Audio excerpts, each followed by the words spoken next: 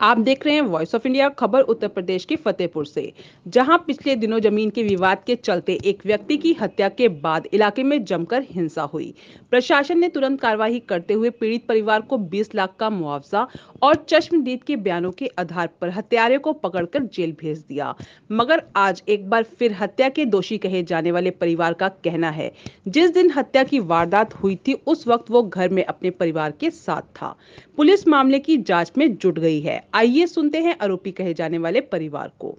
मामले में आपके पति को फंसाया गया। अबू नगर हत्याकांड के मामले में हमारे आदमी को बिल्कुल एकदम बेबुनियाद फंसाया गया है। जिस वक्त हत्या हो रही हुई थी वारदात हुई आपके पति कहाँ थे? उस वक्त घर में थे हम लोग जाने की तैयारी कर रहे थे कि हमें जाना है फ़ंक्शन में। पुलिस से मिली आप? जी हम पुलिस से मिले लेकिन कोई सुनवाई नहीं है अभी क्या हमारी पुलिस? पुलिस का अभी हम लोग एसपी से मिलके आए वो कह रहे थे कि आ, बस मामला किया जाएगा जाँच की जाएगी। जाँच की जाएगी। अच्छा। हम योगी मुख्यमंत्री से मांग करते हैं कि हमारे, हमको इंसाफ चाहिए। हमारा आदमी बेकसूर है, बीमार है, दुनिया की उनको बीमारी लगी है। और ये जो ज़बरदस्ती का आरोप इतने थोपे गए हैं, इसके हक का इंसाफ चाहिए। हमारे छोटे छोटे बच्चे, उनके हक का इंसाफ चाहिए। हमारे आगे पीछे कोई भी नहीं है। हमको बस हक चाहिए, न्याय चाहिए। अगर हमारा आदमी दोषी है तो उसको बिल्कुल दोषी ठहरा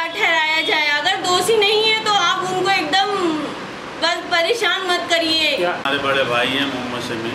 अच्छा। हम लोग सब शादी में जा रहे थे पूरी तैयारी यहाँ हम लोगों की पाँच बजे से चल रही थी।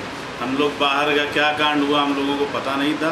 बस यहाँ से तैयारी हो रही थी नीचे हमारी गाड़ियाँ खड़ी थी दोनों हम लोग किसकी शादी में जा रहे थे? कहाँ हमारे साली की शादी थी चौथी लेने जा रहे थे। किस तारीख को?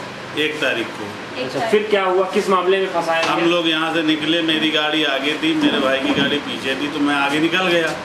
टोल प्लाजा क्रॉस किया तो मैं इनको पूछा कहाँ हो? लेकिन पीछे आ रहे हैं। उसके बाद मैं निकल गया मैं पहुँच रहा था सरसोल के पास। मेरे भाई की गाड़ी मेरे भाई का फ़ोन आया कि यार ऐसा ऐसा ये अपना चौडगरा ब्रिज के नीचे मेरे को फोर्स फोर्स ने घेर लिया है और यहाँ पे कुछ मैटर हो गया यार कुछ समझ में नहीं आ रहा। तुरंत मैं वापस आया उधर पे। मेरे से भी पूछताछ हुई क्या है ये गाड़ी किसकी है? बोला यार ये गाड़ी हम लोग व्यवहार में लेके फिर आए कोतवाली लाए फिर कोतवाली लेके आए वहाँ से सीधा बोले हम कुछ नहीं जानते वहाँ एसओ साहब थे हमने पूछा क्या मामला है? कहीं सर हमको कुछ नहीं पता खाली हमको ये बोला गया है कि ये नंबर की गाड़ी पकड़ी जाए और उसको लाके कोतवाली में जमा किया जाए। सच्चाई क्या है ये जाँच का विषय है। अगर पुलिस ने लापरवाही से कार्रवाई की तो ये पुलिस की प्रतिष्ठा पर एक प्रश्न चिन्ह है। ये थी फतेहपुर से इरफान काजमी की रिपोर्ट। आप देखते रहिए वॉइस ऑफ़ इंडिया